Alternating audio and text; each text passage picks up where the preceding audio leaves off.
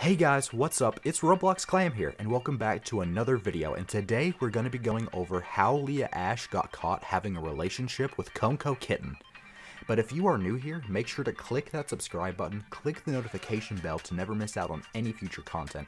We make videos just like this one, and it would be a shame if you missed out on any of it. We hope that these are just rumors because if not, the Roblox community is going to be in big trouble if these two huge YouTubers are going to get together. So, who is Leah Ashe? For those that don't know, Leah Ashe is a Roblox YouTuber with 4 million subscribers, formerly known for uploading every single day, but she decided to stop for no given reason. With this suspicious activity, we question if she got with Kitten. Anyways, she covers on Adopt Me in real life videos, role plays, and even more real life stuff. She is known across the Roblox community, and it's quite obvious as to why. Now for the second question Who is KonekoKitten? For those that don't know this person, KonekoKitten is known for covering drama in the Roblox community and it's also known for playing games and covering how they are in real life. Speaking of real, Koneko is one of the realists on the site. He exposes people that scam and he gives you the real deal.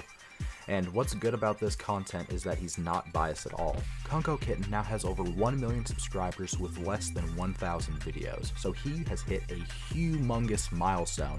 He always makes sure to never disappoint and gives us the spiciest tea.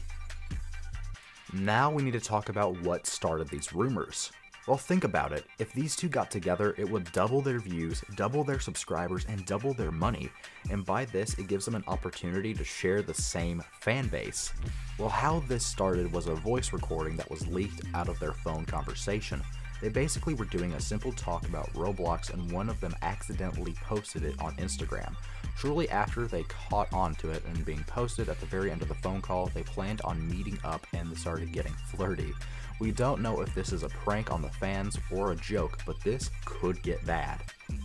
So, is it true?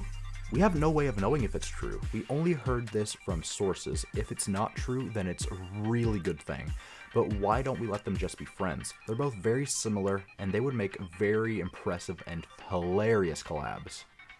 So now for the last question, did KonekoKitten get Leah Ashe pregnant? We got very suspicious info that Leah could be pregnant and she posted a video titled, I'm pregnant, but right after she deleted it, probably because of privacy or she wants this moment to herself, but at the same moment this rumor went around, their phone calls got leaked. So could this be Kitten's child? And could he have been the one to tell her to take it down because he doesn't want people knowing that this happened? Ever since then, the Leah Ashe channel hasn't been the same and we barely see any content come out and we might have the reason for this.